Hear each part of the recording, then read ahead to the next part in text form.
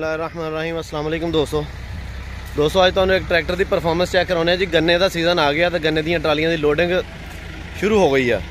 ਮਿਲਾਂ ਚੱਲਣ ਵਾਲੀਆਂ। ਇਹ ਪਿੱਛੇ ਇੱਕ ਟਰੈਕਟਰ ਆ ਰਿਹਾ ਜੀ, ਉਹਨੂੰ ਕਢਾਉਣ ਵਾਸਤੇ। ਤੇ ਦੇਖੋ ਜ਼ਰਾ। ਖੜਾ ਜੀ ਟਰੈਕਟਰ ਤੇ ਇਹ ਆ ਗਿਆ ਦੂਸਰਾ ਟਰੈਕਟਰ ਇਹਦੀ ਲੋਡਿੰਗ ਦੇਖੋ ਚੈੱਕ ਕਰੋ ਜੀ। ਪਿਛਲੀ ਸਾਈਡ ਟਰਾਲੀ ਦਾ ਗੰਨਾ ਹੈ ਹੀ ਨਹੀਂ। ਮੈਂ ਵੈਸੇ ਪਹਿਲੇ ਜਦੋਂ ਦੇਖਿਆ ਤਾਂ ਮੈਂ ਕਿਹਾ ਵੀ ਸ਼ਾਇਦ ਬੈੱਡ ਫੋਰ ਲੋਡ ਹੋਇਆ ਖੜਾ ਵਾ।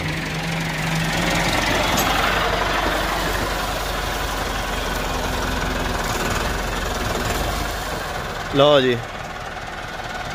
ਵੀਡੀਓ ਦੋਸਤੋ ਮੁਕੰਮਲ ਦੇਖਿਓ। ਉਮੀਦ ਕਰਦਾ ਕਿ ਕਹਿੰਦੇ ਉਸਤਾਦ ਕੇ ਥੱਲੇ ਪਾਣੀ ਲਾਇਆ ਹੋਇਆ ਇਹਨਾਂ ਨੇ, ਗਿੱਲਾ ਵਾ। ਤੇ ਦੇਖੀਏ ਜੀ ਦੋ ਟਰੈਕਟਰ ਅੱਜ ਇੰਨਾ ਕੁ ਗੰਨਾ ਕਿੰਨਾ ਖੇਚਦੇ। ਉਸਤਾਦ ਜੀ, ਇਹ ਕਿੰਨਾ ਕੁ ਹੋਏਗਾ ਜਿਹੜਾ ਉੱਤੇ ਲੋਡ ਕੀਤਾ? ਹੈ? ਹੋਏਗਾ 4 400 ਮਣ ਤਾਂ ਹੈ ਪੱਕਾ ਨਾ।